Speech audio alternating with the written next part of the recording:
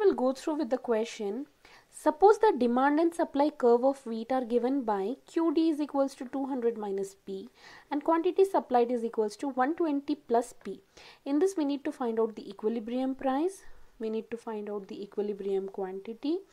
We need to find out the demand and supply when the price will be greater to equilibrium price and when the quantity of demand and supply when price will be lesser to um, equilibrium price so what is it is already given in the question that qd is equals to 200 minus p. Okay. And quantity of supply is equals to 120 plus p.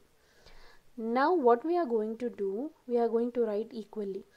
200 minus p is equals to 120 plus p this is minus p plus p.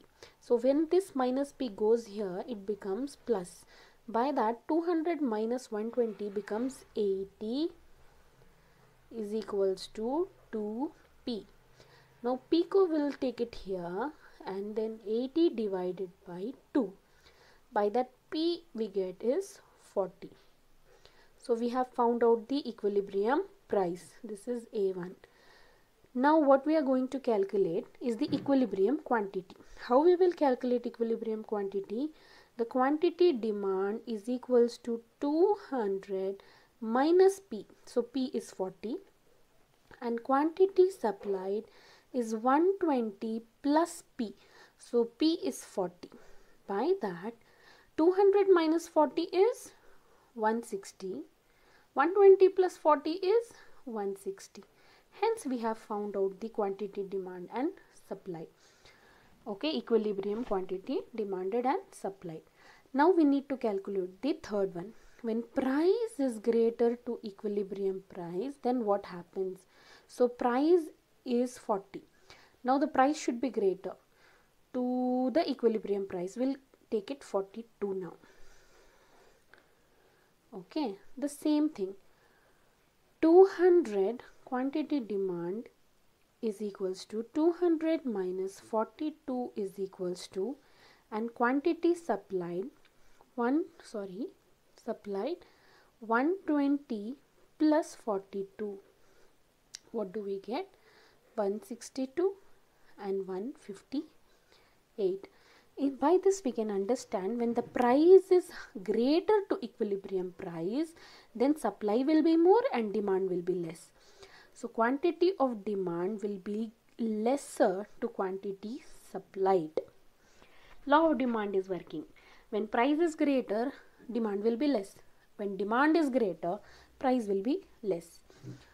Similarly, now when the price is lesser to equilibrium price, then what happens? Same formula to be applied. Now here we took 42. Here we are going to take price as 38 should be lesser to equilibrium price no? Will take us 32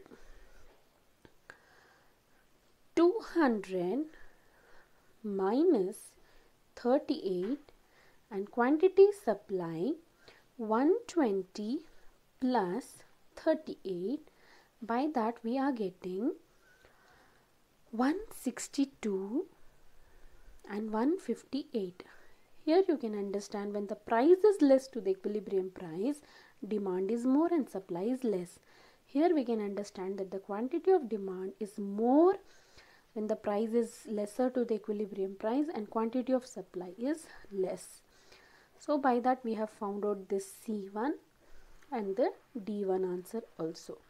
This is very very important and this will be surely asked for your 6 marks okay mark my words it is surely gonna be asked. So do go back to the video learn it again and do prepare it because it is a pakka pakka question